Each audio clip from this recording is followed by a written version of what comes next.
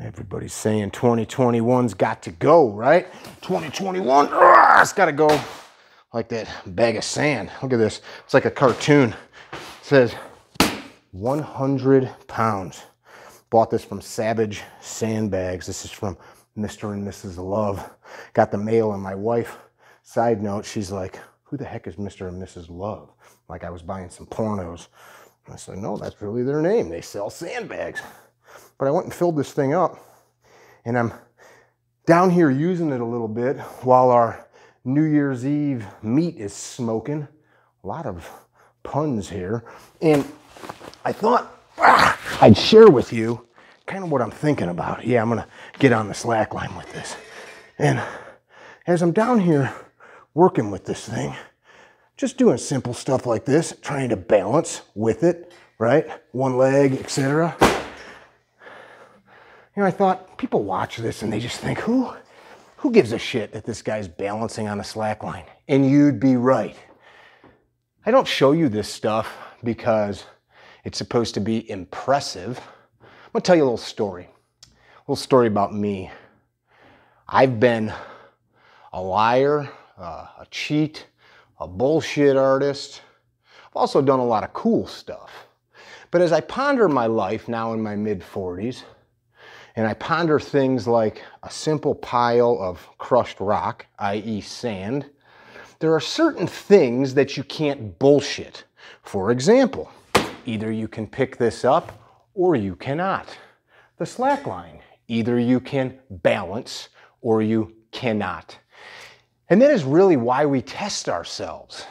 I don't want to be full of bullshit. Not for your sake, but for my own.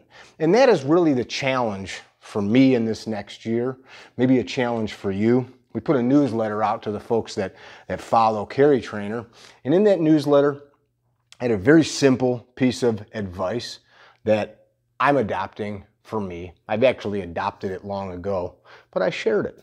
And it's one motherfucking thing, just one, that I think if you truly do it, you're going to see some cool shit happen in your life. No, it's not pick up sandbags, but that's good for you. No, it's not walk on slack lines, unless you're into that. No, it's not go to jujitsu or train more or be nicer or go to church or eat less freaking sugar. Those are all things that you might want to do. It's one fucking thing. And it's this.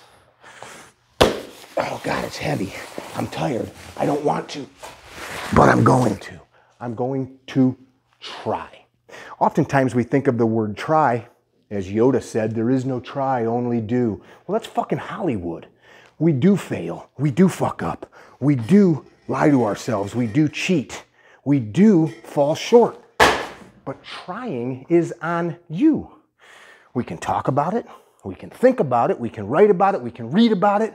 We can pontificate on it.